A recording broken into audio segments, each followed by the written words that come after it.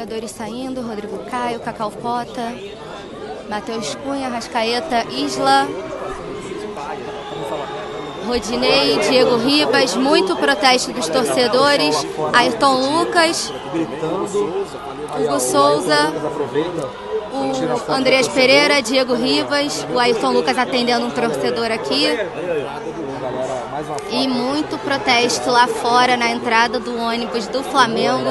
O Ayrton muito solícito atendendo aqui. os torcedores na zona mista da Arena Castelão. Tá vindo o Pablo, que é quem vai atender a imprensa.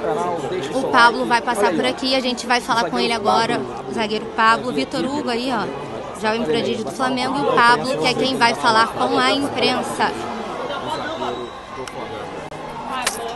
Esse resultado, né? A torcida do Flamengo aguardando, esperando, na expectativa por aquela vitória. Acabou que no finalzinho o Nino Paraíba empatou, o acabou bobeando. Vocês chegaram também a conversar com ele em relação a isso, porque ele desativou, inclusive, uma rede social.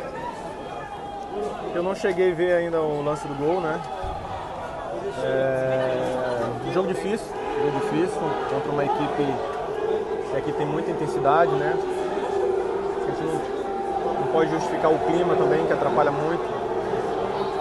Mas é, a gente poderia ter feito melhor, né? O que eu vi no vestiário foi o, o lance do Gabi, que foi pênalti, claríssimo, né? E ali a gente poderia ter feito 3 a 1 e o jogo estava muito controlado.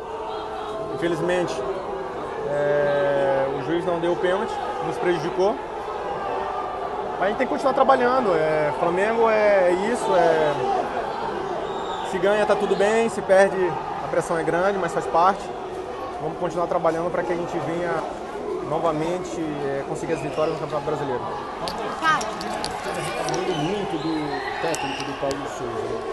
Que tipo de conversa vocês têm ou tiveram hoje aqui depois do jogo sobre essa questão? A gente está vendo jogadores indo para o ônibus muito vaiados também, muito assim, alguns sendo vaiados, tem um misto de aplausos e protesto está essa, essa relação toda em relação à parte externa, dos muros para fora? O sentimento é de confiança, cara. É, é claro que no Flamengo, como, como, eu tenho frisado aqui, a pressão vai ser sempre muito grande. É, infelizmente no Campeonato Brasileiro a gente não está conseguindo os resultados que nós almejávamos, né? É um empate difícil né, de engolir. É jogo que estava difícil, mas 2 a 1 seria uma vitória importante pra gente.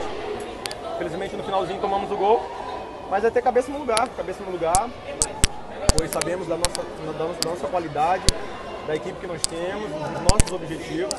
Então vamos trabalhar muito, muito mesmo para que a gente venha é, amenizar todo tipo de, de, de erro que venha acontecendo no jogo. Positiva, muito positiva, de muita confiança, é, pois acreditar, a gente tem que acreditar, pois temos uma equipe muito qualificada para fazer bem melhor. O espírito da equipe para a próxima partida, que é uma partida importante que pode encerrar a classificação do Flamengo para as oitavas da Libertadores. Espírito de confiança, espírito de, de trabalho, de, de, de, de alegria, pois é, a gente sabe que a gente tem, pode fazer bem melhor. Né? No Campeonato Brasileiro, como eu tenho pesquisado, a gente não tem, não tem tido os resultados, tem até, a gente tem até performado, mas as vitórias não estão vindo. Mas vou continuar trabalhando para que a gente venha concretizar essa classificação na terça-feira. Pablo, você falou com o Rodrigo Caio no final do jogo, no vestiário, como o jogador tá? O Paulo Souza falou que parece que foi um susto. Você conversou com o Rodrigo? Acredito que não é nada grave, deve fazer exames, não sei. Espero que não seja nada grave porque é um cara que e tem um carinho de todos. Pablo, Pablo, vocês estão tendo. Trabalhou com ele no Bordeaux, agora é, reencontrou aqui no Flamengo. Você vê nele algum tipo de preocupação com essa pressão externa que vem acontecendo? É, você sabe a maneira que ele trabalha, às vezes, quando os resultados não vêm. Queria que você falasse um pouquinho de como você está sentindo o Paulo Souza no vestiário, no dia a dia de vocês, se isso tudo externamente é, pode é, desestabilizar um pouquinho o trabalho. O Paulo está muito confiante. O Paulo está muito confiante, está passando muita confiança na gente, a gente tem a confiança é, dele. Né?